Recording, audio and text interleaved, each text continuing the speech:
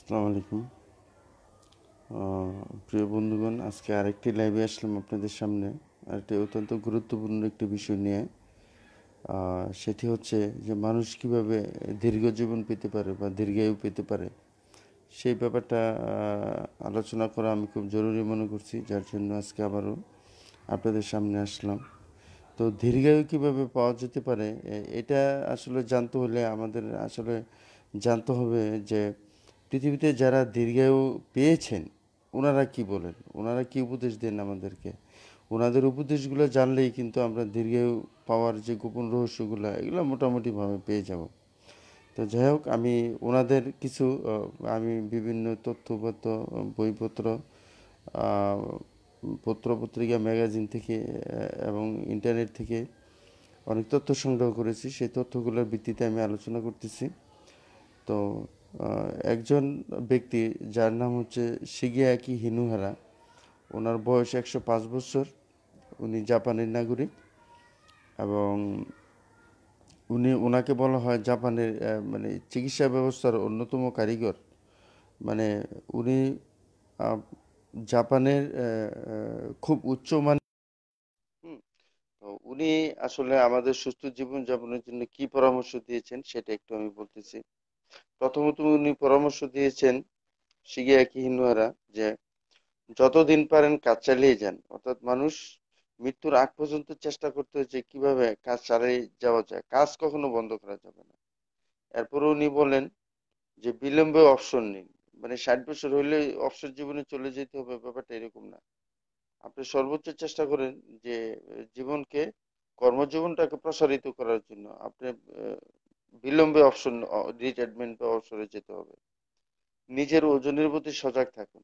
ওজনের কারণে মানুষের বিভিন্ন ধরনের রোগ শোক হয়।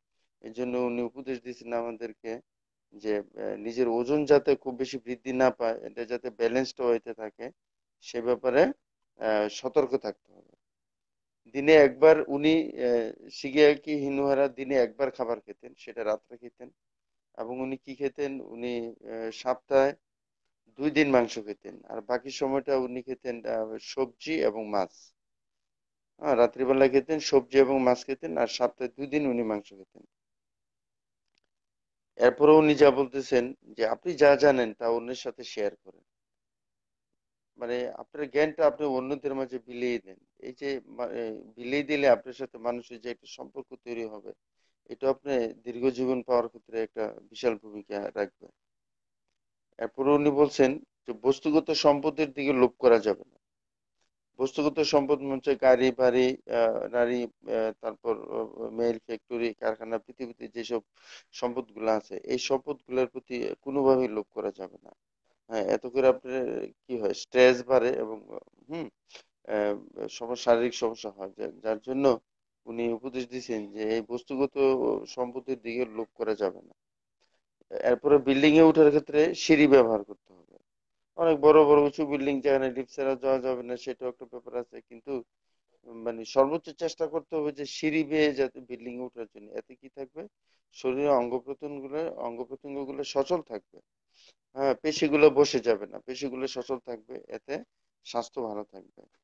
মন খুলে আনন্দ করতে হবে। উনি মন খুলে আনন্দ করার মানে একদম খুব গভীরভাবে একটা, আপনার একটা আনন্দের বিষয়বস্তু পেলেন সেটা আপনি গভীরভাবে আনন্দ করার চেষ্টা করেন দুশ্চিন্তা এবং অনৈতিক কাজ থেকে দূরে থাকতে হবে। দুশ্চিন্তা এবং অনৈতিক কাজ এসব কারণে মানুষের বিভিন্ন রকমের মানে প্রেশার স্ট্রোক হার্টের প্রবলেম এরকম বিভিন্ন রকমের প্রবলেম দিকে মানুষ ঝুঁকে যেতে পারে। এই জন্য উনি বলছেন যে দুশ্চিন্তা এবং অনৈতিক কাজ থেকে সবসময় বিরত থাকতে হবে। আবার এটা উনি বলছেন যে অতিরিক্ত নিয়ম কানুন থেকে হ্যাঁ পালন করলে দেহ অনেক সময় ক্লান্ত হয়ে ফেলে। আসলে অনেক আছে যে অনেক একটু বেশি বেশি নিয়ম কানুন পালন করতে যায়, স্বাস্থ্যবিধি, বিভিন্ন বিধি পালন করতে যায়। তাই দেখা যায় যে অধিক পরিমাণ নিয়ম কানুন পালন করতে গিয়ে মানুষের স্বাস্থ্যের অবনতি মানে শরীর দুর্বল হয়ে পড়ে। এই জন্য উনি সে ব্যাপারে বলছেন যে অতিরিক্ত নিয়ম কানুন আসলে খুব বেশি ফলো করার দরকার নেই। যাই হোক আরেকজন ব্যক্তি আছেন যিনি ভারতের বেনারসের নাগরিক। এখন উনি ওনার বয়স একশো তেইশ বছর। ওনার নাম হচ্ছে শ্রী শিবানন্দ। উনি ওনার অরিজিনটা অবশ্য বাংলাদেশে। উনি হবিগঞ্জের বাউবলের আহ, হরিপুর গ্রামে জন্মগ্রহণ করেছিলেন। যাই হোক উনি আসলে দীর্ঘায়ু এবং নিরোগ ও সুস্থ জীবন যাপনের জন্য অনেক সুন্দর সুন্দর উপদেশ দিয়েছেন। তো ওনার কতগুলো উপদেশ আমরা খেয়াল করি? উনি বলছেন যে সৎ চিন্তা সৎকর্ম ও সুশৃঙ্খল জীবনযাপন করতে হবে। তো সৎ চিন্তা সৎকর্ম, সুশৃঙ্খল জীবনযাপন করতে হবে।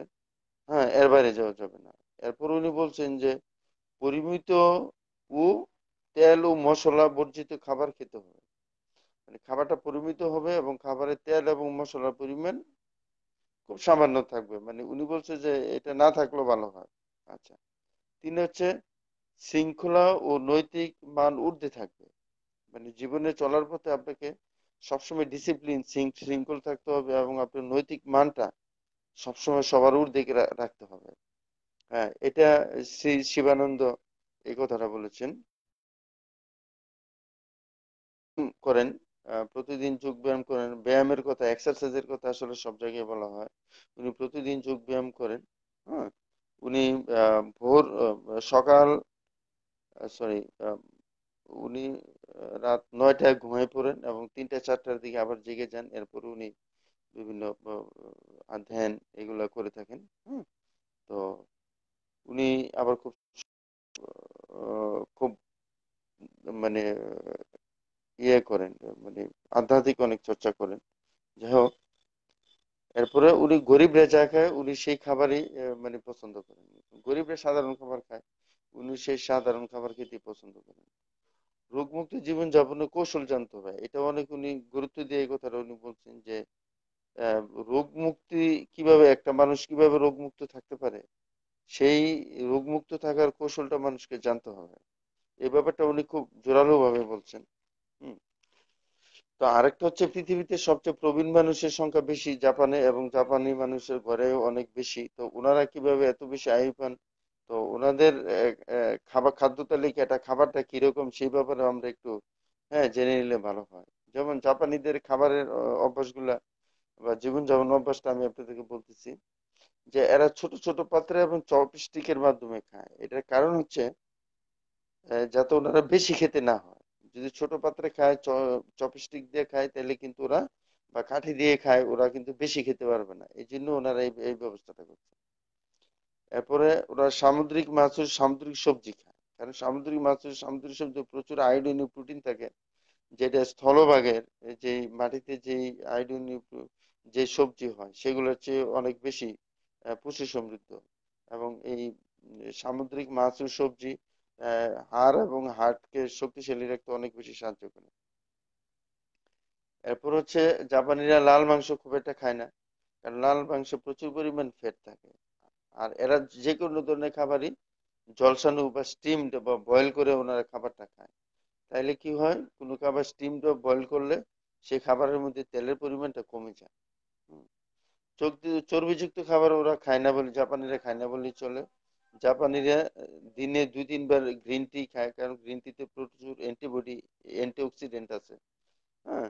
এরপরে প্রচুর হাঁটে। জাপানি লোকজন কিন্তু প্রচুর হাঁটে। ওরা প্রতিদিন কমসে কম ষোলোশো স্টেপ নেয় মানে ষোলোশো কদম দেয় হ্যাঁ? ষোলোশো কদম দেয় তাইলে কিন্তু ষোলোশো কদম কিন্তু কম না, অনেক অনেক হাঁটে ওরা।